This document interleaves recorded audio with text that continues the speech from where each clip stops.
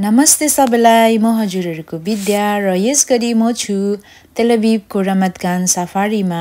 र हामी यहाँ आएको छौँ वाइल्ड एनिमल हेर्नको निम्ति गाइस र आजको ब्लग मेरो यहाँबाट स्टार्ट हुन गइरहेको छ र आशा गर्छु हजुरहरूले मेरो लास्टको ब्लग चाहिँ यो ब्लग पनि मन पराउनुहुन्छ होला भनेर र हजुरहरूको धेरै मायाको निम्ति एकदमै धन्यवाद। र यस गरी हामी गइरहेको छौँ टिकट काउन्टरतिर र म लगायत मेरो साथीहरू यहाँ टिकटको निम्ति आएको छौँ र हजुरहरूलाई जानकारी दिन चाहन्छु कि हामीले यहाँ एकजनाको चाहिँ नाइन्टी नाइन सेकल गरेर टिकट लियौँ र हामीले चारजनाको पे गऱ्यौँ three hundred and ninety six cycle र यो चाहिँ हो हाम्रो टिकट गाइस र उहाँहरूले दिनुभएको छ प्याम्प्लेट्स डिरेक्सनको निम्ति गाइस र यो प्याम्प्लेट्स हेर्दै